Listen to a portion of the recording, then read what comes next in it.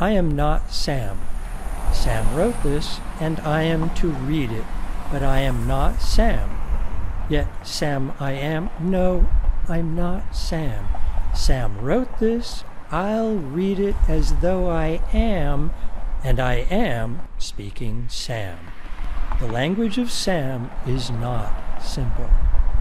That's about as simple as Sam writing simple gets. This preamble is just to set up a few things in a sort of order that makes sense to Sam. A. I am not Sam. Sam and I grew up together. We are not the same. In fact, Jay might say we are not at all alike. Sam, I, would say that's so. B. This is about mountains. Jay, unlike Sam, has climbed a few. Some of those stories may be told in the course of this piece, if Jay goes slow enough, which he never does. C. The following snippets will be in the voice of Jay, though the words are Sam's. Tales told by Jay to Sam. D. Nothing so far is so, and all of it could be true.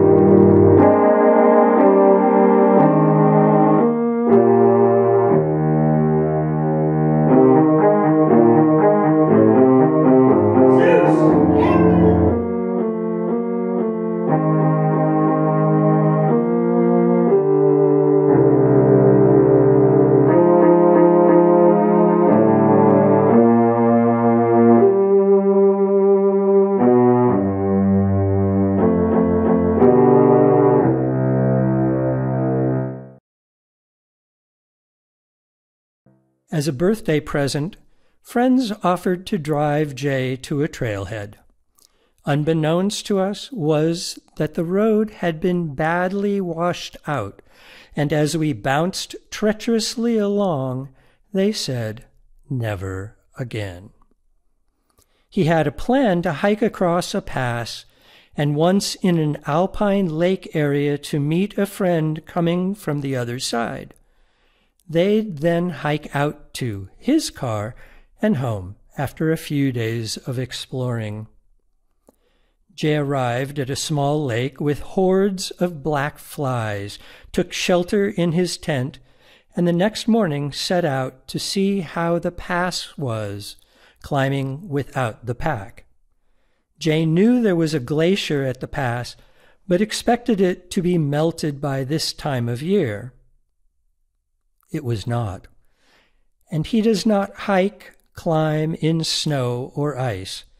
To make sure of this, he carries no equipment to make that possible. Stymied returned to the tent, decided to go out the other way, but had no maps, guidebooks, topos, other than for where he planned to go. Luckily, the other way was part of the PCT, and anyone met was asked when they were going back to civilization. And if before my friend was to leave, Jay gave his phone number, and having looked at their maps, said to meet him at the totally different trailhead. To get to that trailhead, Jay took the longer, but possibly more scenic, high trail, and halfway up it clouded over, and thunder could be heard in the distance. Scrambling back down, took the lower route. Altogether, he covered 20 miles that day, set up the tent, crawled into the sleeping bag, and slept surrounded by family reunions.